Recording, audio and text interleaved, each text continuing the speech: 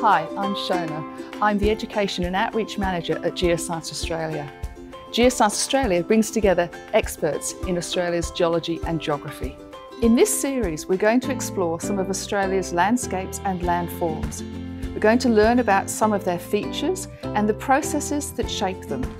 We're also going to think about how landscapes and landforms are valued and the ways humans impact and protect them.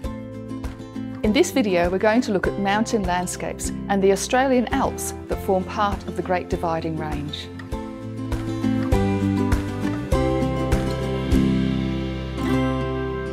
Mountains are pretty amazing, but what are they exactly? Mountain landscapes rise significantly above the surrounding land. In fact, many geologists classify a mountain as a landform that rises at least 300 metres above the surrounding area. 300 metres is around the same height as a 90 story building. Mountains smaller than this are usually classed as. That's right, hills. A mountain range is a series of mountains that are close together. There are many mountain ranges in the world, and they've all been shaped by tectonic plates, but in different ways. You've probably heard of the tallest mountain in the world, Mount Everest. It's part of a massive mountain range called the Himalayas, and it has an elevation of 8,849 metres. It's huge! The Himalayas are fold mountains. Fold mountains are the most common type of mountains, and they form when tectonic plates push into each other. When two continents collide, the equally thick plates cause the Earth to buckle, creating mountain ranges.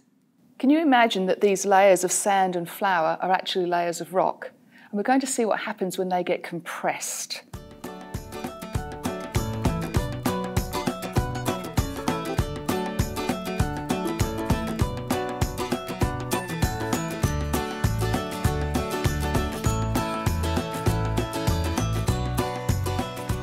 Can you see that the layers have actually become folded and bent and we see that in real rocks like this.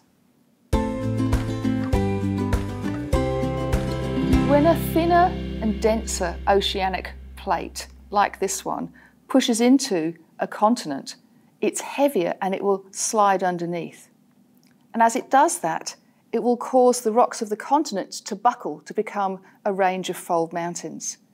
And it also causes magma to rise up and give volcanoes along the mountain range as well. And it's these processes that have formed the Andes mountain range that we have today. When tectonic plates push together and pull apart repeatedly, it forms cracks or faults in the earth. And then blocks of earth can be pushed up or pushed downwards to create block mountains and rift valleys. A place where you can see fault block mountains formed in this sort of way is the Sierra Nevada ranges in the United States. Volcanic mountains form usually near plate boundaries when magma rises up through the Earth's crust and flows out onto the surface where it cools and hardens. And this is how we get volcanic mountains forming. An example of this kind of volcanic mountain is Mount Fuji in Japan. So, what does all of this mean? Basically, that the movement of tectonic plates is a major force that forms mountains on Earth.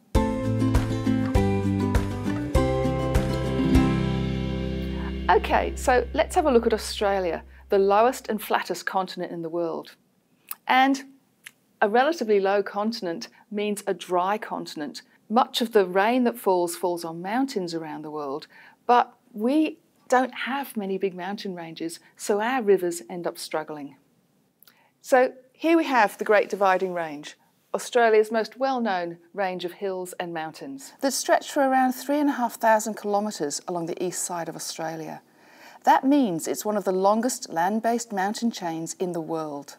It's called the Great Dividing Range because rain that falls along here will flow in two directions and the divide is where rivers flow to the east and out to the Pacific Ocean or to the west to inland Australia. The range is made up of a series of low mountains, hills, plateaus, escarpments, and the biggest and most well known perhaps are the Australian Alps. within the Australian Alps, we have Mount Kosciuszko, the lowest, highest point on any continent in the world.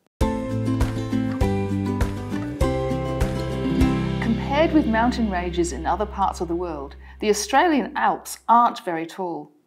This is because they are much older and have been affected by environmental processes for a longer period of time. They were also formed differently from many of the world's mountain ranges. There is still debate about the formation of the Great Dividing Range, which is also known as the Eastern Highlands. The world is a complicated place. This diagram demonstrates a popular theory. The first image shows Gondwana, a supercontinent, about 130 million years ago, and it's being stretched apart and then the second image, about 100 million years ago, shows that there's faults created and the stretching apart is dropping some of those blocks of land down to create a rift valley. And then as time goes by, that rift valley has got wider and it's allowed water to come in. So you have a, a new ocean forming here. And on one side, you've got Zealandia moving to the east, and on the other side, you have what became the Australia that we know today. And on this continent that became the Australia we know today, this eastern side became uplifted. Further on, and we have time wearing down these rocks and smoothing out some of this great dividing range into what we know today, with an escarpment and a floodplain close to the coast, and rivers flowing down to the ocean, and then the other rivers are flowing into the inland. What other processes do you think have acted on or shaped the mountains of the Great Dividing Range and the Australian Alps? Remember, weathering is when things like extreme temperatures, ice, salt, even plants and animals cause rocks to break down. And erosion is when wind or water or ice, again, glaciers, and even gravity carry those particles, those broken down rocks away. And in the end, deposition is where those loose materials that have been transported get deposited in a new location. If we look at the landscapes of the Australian Alps, we can see many different landforms. There are mountain peaks like Mount Kosciuszko, which is the highest peak on mainland Australia. There are mountain faces, which are the sides of mountains that are very steep.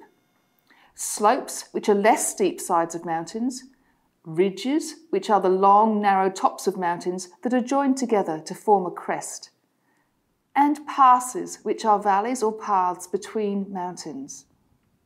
What else can you learn about Mount Kosciuszko? What other mountain landforms can you find out about?